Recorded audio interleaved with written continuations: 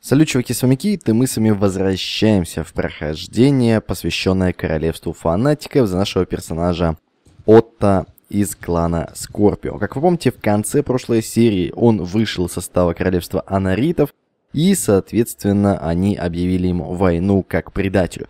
Его же цель, как бы в данной истории, в данном прохождении, называйте как хотите, его же цель заключается в том, чтобы захватить все это королевство анаритов и уничтожить всю знать, которая стала на сторону короля и предала религию, которой он посвятил всю свою жизнь. И вот буквально спустя несколько дней путешествуя по окрестным землям в поисках лордов, которых он мог бы выцепить поодиночке и уничтожить, он встречает отряд лорда Пиракара, который поджидал его недалеко от его границ. И он, к своему собственному сожалению, попался в эту ловушку. И хоть отряд Пиракара был немножечко больше по количеству, но все-таки войска Отто были более закаленными бойцами. Ну что ж, посмотрим, что же победит. Подготовка и истинная вера против количества и алчности.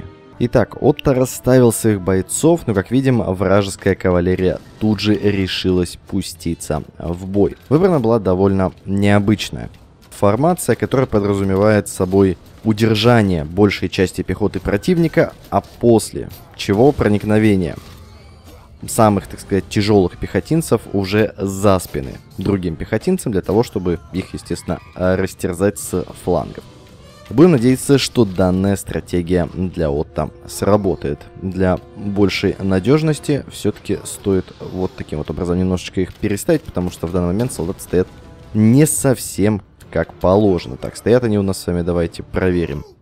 Данные ребята в стене щитов, данные тоже у нас с вами в стене щитов. Очень даже хорошо. Хотя затесалась парочка стрелков в одно из формирований, в другое вообще затесалась каким-то образом кавалерист, тоже не, не особо понятно зачем и почему. Ну, да ничего, если поставим их немножечко вперед, в принципе, данные, данный конь мешать здесь не должен. Вражеская кавалерия была растоптана, союзная же кавалерия будет ожидать с фланга для того, чтобы зайти в тыл врагу и расстрелять, вернее, уничтожить а, вражеских стрелков, ну и пехоте немножечко подгадить. Немножечко позже, естественно. Так, ну, в принципе, тактика понемногу, но все-таки здесь у нас с вами работает. Так, что по э, уничтожению противников. Э, четверо умудрились каким-то образом и зачем-то сбежать, хотя бой толком не начался, и пятеро еще было ранено. Но, в общем и целом, пока что у Отто все происходит очень даже хорошо. Будем надеяться, что дальше так оно и будет. Хорошо, огненные камни довольно неплохо здесь работают, как мы видим, то есть они прям раскидывают врагов пачками, это весьма-весьма хороший знак. А, как ожидалось, вражеская пехота разделилась на два небольших формирования, и принялись они как бы раскидывать э, всю эту вот пехоту а, Отто. Небольшие здесь проблемы. Данное формирование почему-то решило не участвовать в происходящем, что довольно-таки странно на самом деле. И вообще решило пройти мимо части формирований, что вообще на самом деле дико странно, но а, ничего. Кавалерию нужно завести за спину, чтобы она тоже помогла и напала, естественно, на врага. Единственное, за что больше всего как бы я беспокоюсь, это за то, что огненные камни полетят как бы в союзников. Вполне возможно, это у нас такое оружие, которое без особых проблем может поднасрать как бы уже и не только врагам, но и союзникам.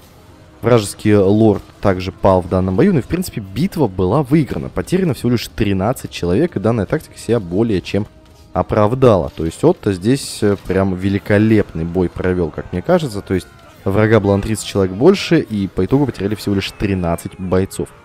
Тактика себя определенно оправдывает. Так, давайте посмотрим, кто убил больше всего. Это убили у нас адепты.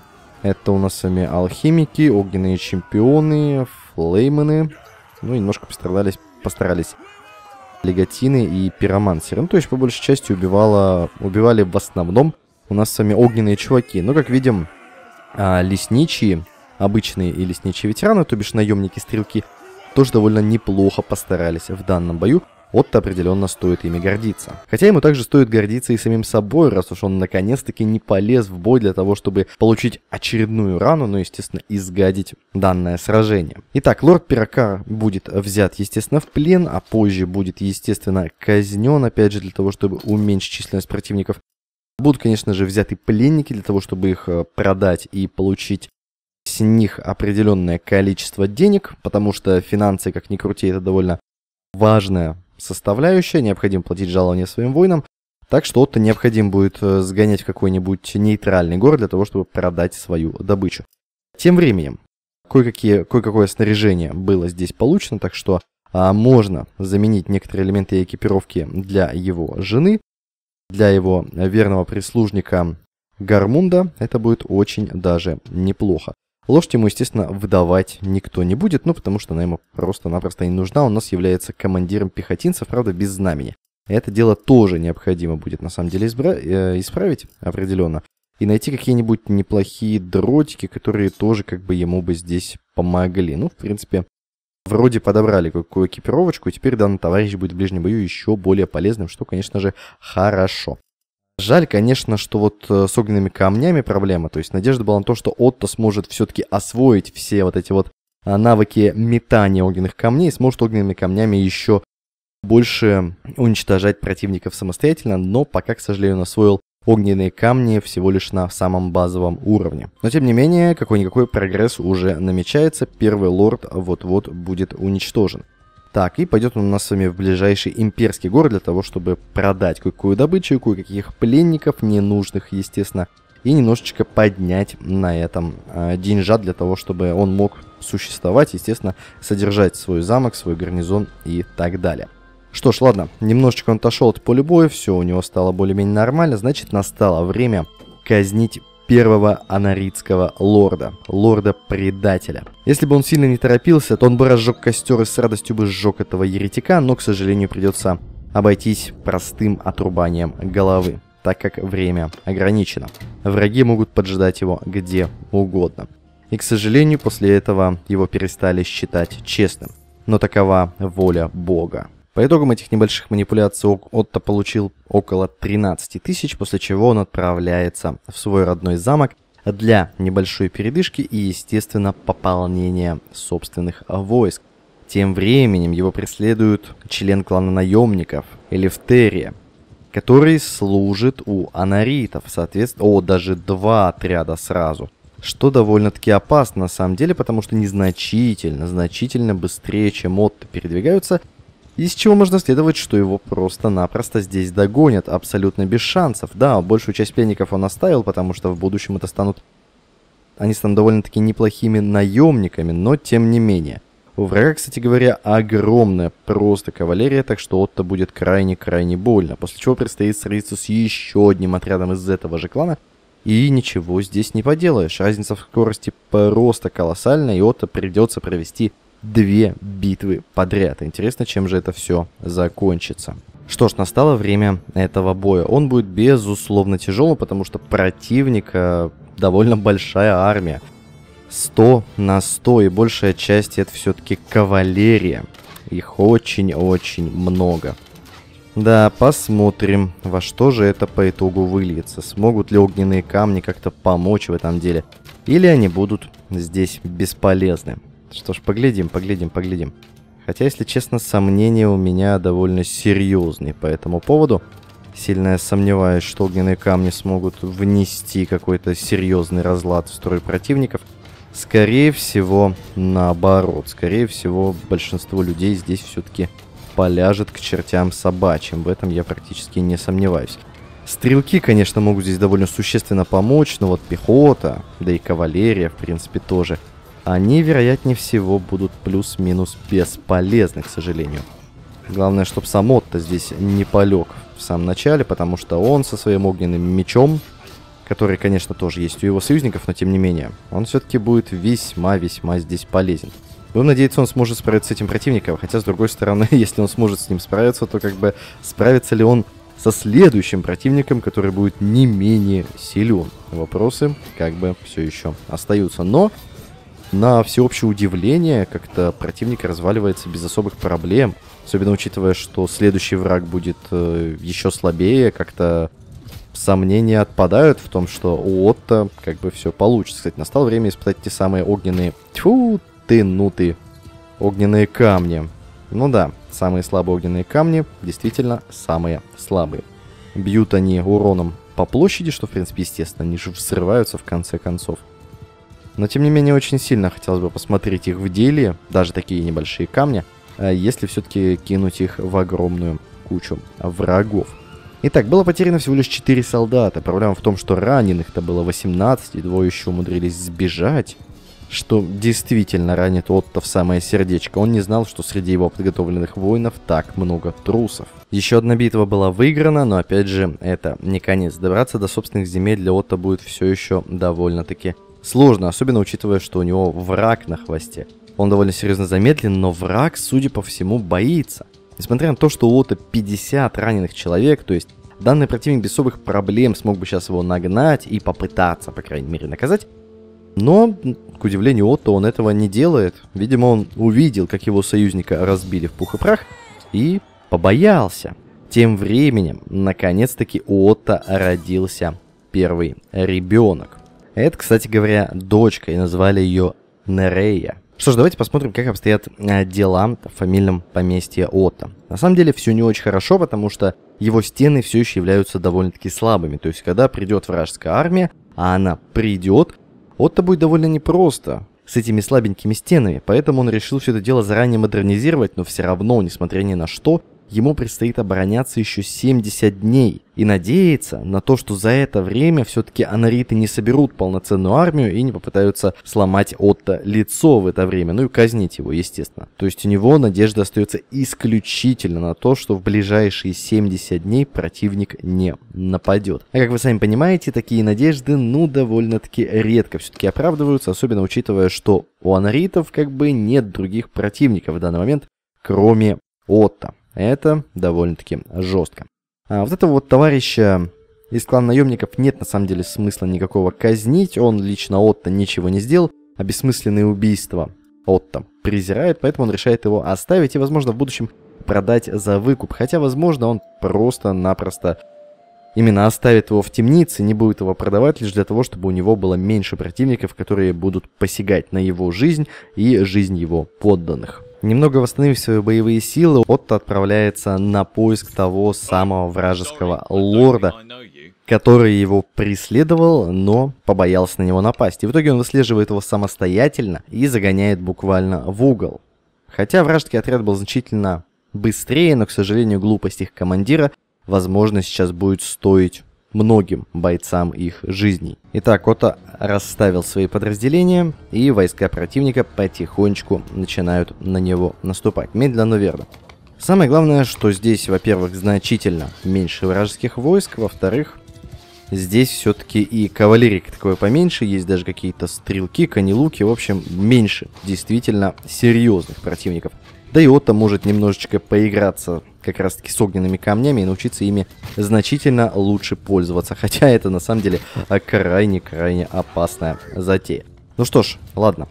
Для Отто, вернее для кавалерии Отто настал момент наконец-таки пуститься, хотел сказать в пляс, но нет. Пуститься а в бой, а самому Отто настало время немножко аккуратнее пользоваться камнями, потому что он может просто-напросто навредить своим союзникам. Тем временем он становится значительно лучше в использовании метательного оружия, что в будущем сыграет для него а, очень хорошим подспорьем. Так, а его союзничкам пора все-таки отправиться в атаку, потому что кавалерия противника уже потихонечку а, подбирается как раз-таки к его стрелкам, поэтому пехоте все-таки пора взять а, бубенцы свои в кулак и идти атаковать этих засранцев. Так, все идет прям великолепно, слушайте. Вот-то прям все отлично. Минимальные потери, при том противник теряет людей, ну, просто-напросто регулярно. Это очень хорошие для него новости. Кстати, а где противники-то? А их осталось всего лишь 10 человек. Кстати, именно столько потерял Отто. Вернее, уже даже 11, но не суть важно. Тем не менее, потери, конечно, больше, чем в предыдущем бою, на удивление. Но, несмотря на это, они все еще довольно несущественные, видимо, потому что союзник Отто, Гармунд, все-таки является довольно неплохим врачом, видимо, именно поэтому такие низкие потери в отряде у Отто. Он взял себе довольно неплохого врача. Перед тем, как пойти на столь рисковый шаг, как восстание против собственного королевства. Итак, 11 человек было потеряно, 15 было ранено и двое сбежали. Он вроде бы регулярно увеличивает боевой дух среди солдат благодаря своим победам, но этого почему-то не хватает, чтобы солдаты просто-напросто перестали сбегать каждый бой. Это действительно немножечко раздражает. Но здесь ничего не поделаешь. Так что ж, настало время быстренько отдохнуть здесь и вновь отправиться в город для того, чтобы продать как раз-таки всех вот этих вот пленных, которые Отто не нужны, то есть именно пленных из вот этого вот клана, заработать на них немножечко бабла, ну и, естественно, вернуться назад в свое поместье и ожидать нападения как раз-таки от анаритов. Но, к сожалению, все, как всегда, идет не по плану. Он встречает отряд из войск анаритов, ему приходится спешно вернуться в свой замок, скинуть как раз таки пленных, которых он взял на продажу, и идти защищать свою деревню, потому что именно эта деревня снабжает его замок провиантом. Это довольно-таки важно. Плюс этот товарищ решил собрать армию и все-таки изничтожить, ну вернее, захватить как раз-таки а, замок Отто, что для него, ну, прям катастрофически плохо. Кстати, они там еще и людей умудрились потерять, вот дурачки все-таки, а. Так, ему главное подкараулить данную армию, чтобы она не получила небольшое, но все же подкрепление из ополченцев данной деревни. Поэтому здесь довольно, довольно тонко нужно поступить. Напасть на них вдали от деревни, чтобы они были отрезаны, так сказать, от небольших подкреплений из деревенских. И тогда уже им спокойненько сломать хребет и уничтожить данного лорда. Итак, у нас с вами лорд Серпентас, у которого теперь 150 человек вместо 160, которые были. Что ж, так даже лучше, тем более, как мы видим, они не особо все-таки подготовлены, много у них стрелков, э, неплохо пехоты, но вот кавалерии, конных лучников, которые являются довольно проблемным звеном для Отто, у них нету. Ну что ж, для них это будет явно серьезной проблемой. Как говорится, план был надежный, что швейцарские часы, но, к сожалению, противник не повелся и решил не нападать на подразделение Отто. Поэтому, к сожалению, ему предстоит напасть самостоятельно. Получится или нет, вопрос, как говорится, хороший. Ну что ж, понадеемся, что у него все-таки все получится. Сейчас ему необходимо плавненько переставить свои войска немножечко ближе, так сказать, к границе противостояния. И надеемся, что у него с этим делом все получится не менее хорошо, чем было до начала сражения. Что ж, время наступать.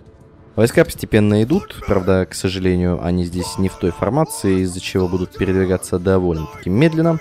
Значит, временно придется их здесь поменять. Плюс ко всему, кавалерия должна переместиться немножечко поближе к линии фронта, чтобы они могли вовремя, так сказать, вылететь во всю эту битву. Стрелки у нас подготовили свои огненные стрелы, так что да, врагам будет довольно-таки жарко. Проблема в том, что у врагов здесь как бы стрелков немножечко побольше, чем у этой компании, поэтому тупо их пересидеть вряд ли получится, на самом деле. То есть противник здесь весьма-весьма силен.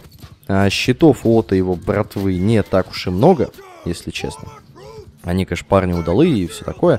Но а этого, к сожалению, действительно может просто-напросто здесь не хватить, поэтому а, необходимо вот а, как бы взять все это дело в свои руки. То бишь а, взять кавалерию, пойти уже как бы на противника. Что ж, а, давайте этим займемся. То есть необходимо немножечко попугать лучников, вражеских, естественно, чтобы наши союзные лучники могли в этот момент их перестрелять. Ну и плюс ко всему, как бы чтобы и кавалерия, которая сейчас сюда направится, тоже немножечко подсобила в этом деле. Это все довольно-таки важно. Плюс можно воспользоваться огненными камнями, которые, безусловно, какой-то небольшой, но все же дамаг здесь нанесут и противнику малину всю изгадят. То есть заставят его немножечко изменить свою формацию, вообще будут его гонять туда-сюда, пока стрелки Отто в бонусе с кавалерией будут немножечко им здесь наваливать. Это довольно-таки э, неплохая стратегия, как мне кажется. Опа, противник что-то неожиданно загорелся. Почему, интересно? Очень увлекательно. Ну, хорошо, пока что стратегия действует, противники потихонечку умирают, плюс урон от огня еще получают.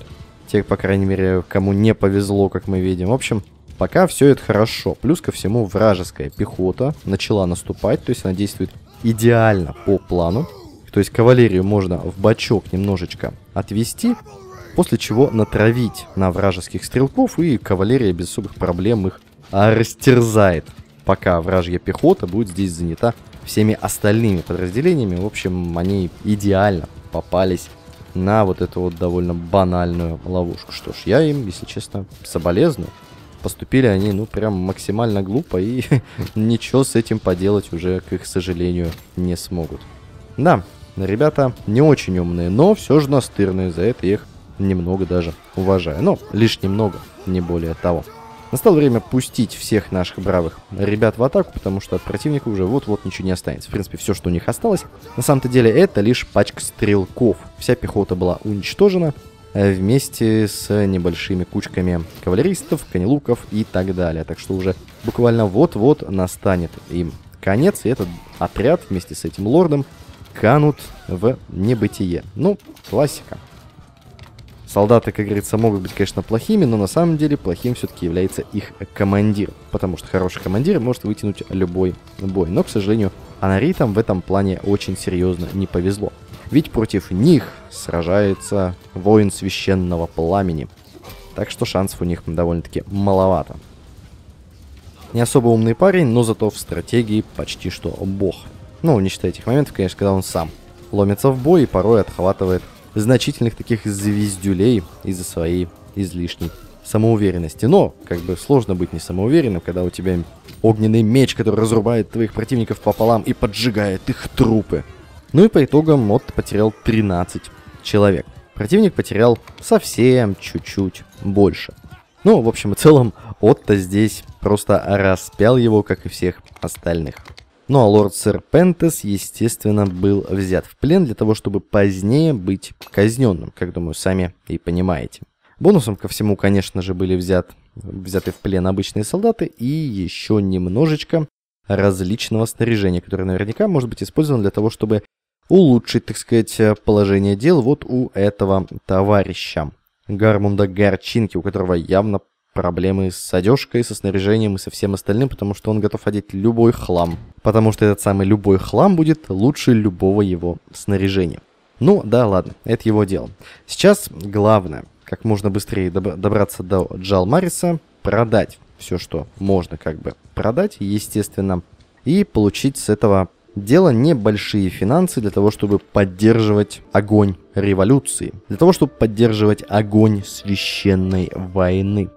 Так, кстати, у города осталось не так уж и много финансов. Это на самом деле немножечко разочаровывает, значит, вскоре придется двигать не только в этот город, ну, для, необходимости, для необходимой продажи, э, но, возможно, и какие-то другие города. Но, к сожалению, с этим ничего не поделаешь, рано или поздно это должно было произойти, потому что Отто здесь снабжает их только в путь. Сниженный урон, получаемый от дальних атак, думаю, это то, как раз-таки тот самый штандарт, который прям необходим для вот этого вот товарища. Ну, а как раз-таки живность, в принципе, наверное, лучше оставить для того, чтобы изрезать ее на мяско и шерсти. Но об этом немножечко позже. Так, финансов он получил 30 тысяч благодаря продаже различных товаров. Так, ну и можно еще, конечно же, продать всех пленников, но перед этим, ну, чтобы не продать случайно, э, лорда, которого он захватил, ему все-таки необходимо казнить лорда Серпентеса, а то, опять же, он мог случайно его продать. Что ж, лорд, ты неплохо служил королевству анаритов, но пошел ты по неправедному пути. Так что твой путь в этом мире окончен. Как говорится, помянем пацана. Но здесь ничего с этим уже не поделаешь. Таков был путь, который избрал Отто. Он не особо ему нравился, но он знал, что это праведный путь. Ну а на этом, дамы и господа, нам с вами пора прощаться, потому что Отто, как и мне, необходимо немножечко отдохнуть. Уже совсем скоро его похождение в этом грешном мире продолжится. Надеюсь, текущий эпизод вам пос... Надеюсь, текущий эпизод вам понравился, и вы не забудете влепить ему лайк, ну, естественно, подписаться на канал. Ну что ж, а у меня на этом все. С вами был Кит, и всем пока.